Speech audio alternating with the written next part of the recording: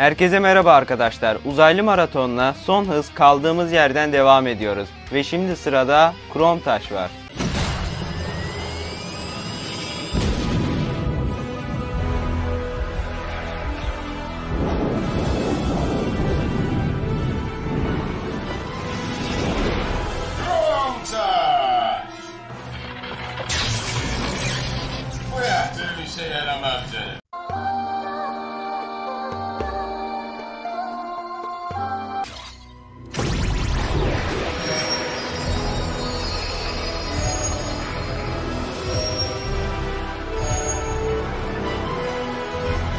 Parlak taş. Hala ben de bunlardan bir tane olduğundan emin değilim.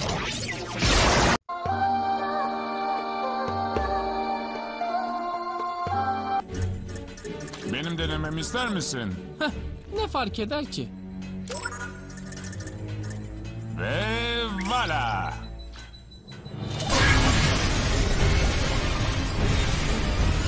Vay canına bu kromaston.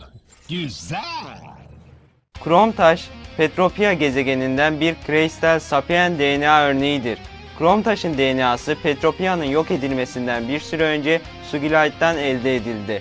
Görünümü Krom taş, mor kayalardan ve magenta kristalden yapılmış, silikon bazlı bir uzaylıdır. Vücudunda genel olarak mor, birkaç koyu çizgi ve benek vardır. Elleri ve yüzü eflatundur ve ayrıca sırtında, ikisi göğsünde ve biri de başının üstünde boynuza benzeyen altı eflatun kırık sporu vardır. Yüzü ortasında bir ağız ve bir büyük yeşil gözden oluşur.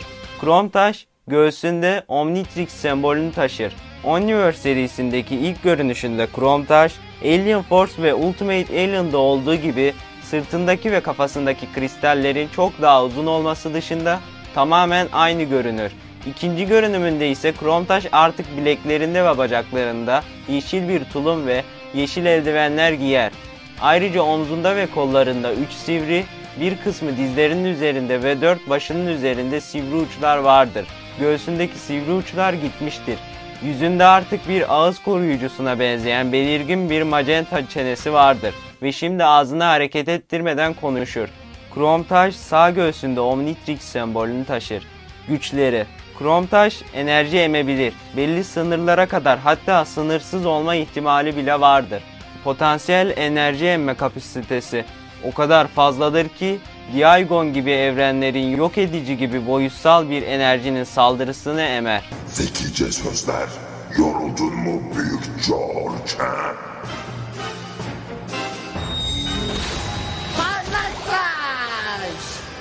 Bu kadar acımasız olma. 2000 yaşında ve sabahtan beri ninjalar gibi dövüşüyor. Tabii ki yorgun olacak.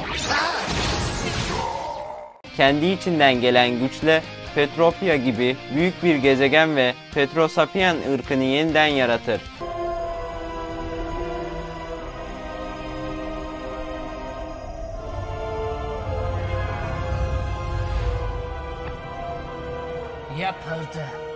Petropya yeniden canlandı.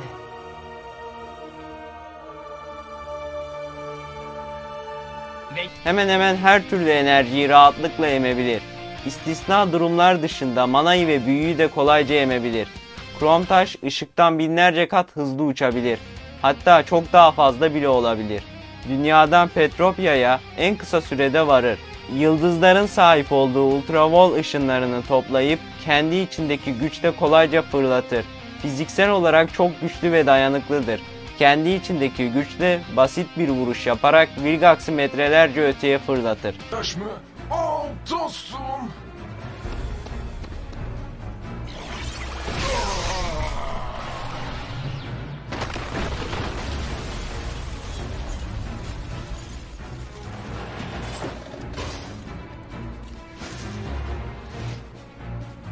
Zayıflıkları Krom taş suyun iletkenliğinden dolayı sudayken elektrik gibi enerjileri ememez ve çarpılır. Ben olduğundan emin değilim.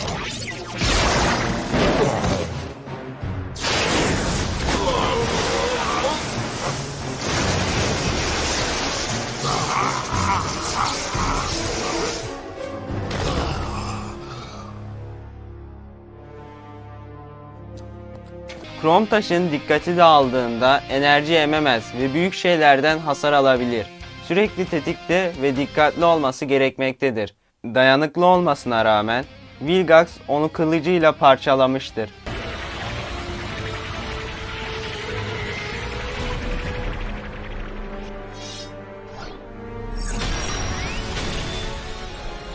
Hayır.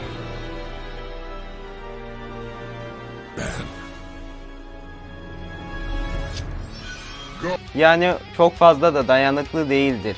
Hakkında krom taşın adı krom ve taş kelimelerinin birleşimidir. Krom, krom taşının ışınları ve taşındaki rengin yoğunluğunu belirterek renk saflığı veya yoğunluğu anlamına gelir. Taş, bir kayanın yapıldığı görünüşüne atıfta bulunan metal olmayan mineraldir. Krom taşının adı aynı zamanda DNA ile ilgili hücresel biyolojinin bir birleşimi olan kromozom üzerine bir atıftır. Krom taşın gözüktüğü bölümler ise şöyledir. Alien Force serisinde her şey parıldıyor, zırh eldiveni, şövalye olmak, paradoks, Dark Star geri döndü, iyi kopya kötü kopya, hükümsüz, köstebek, tüy kuşları, gün yüzüne çıkarılmış, Vilgax'ın intikamı bölüm 2. Ultimate Alien serisinde şöhret, sihir nerede olur, mutlak güç bölüm 1, Victor'un dönüşü, büyük hikaye, ölüm sonrasından yaratık, The Enemy of My Frenemy, Son Düşman bölüm 2.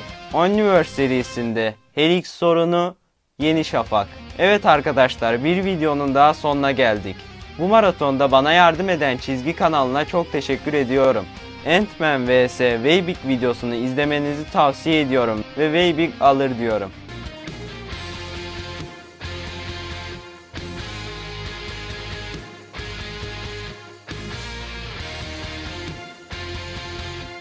Eğer video hoşunuza gittiyse beğenmeyi, kanala abone olmayı ve bildirimleri açmayı unutmayın. Hoşçakalın, kendinize iyi bakın. Put it out the coupe at the light.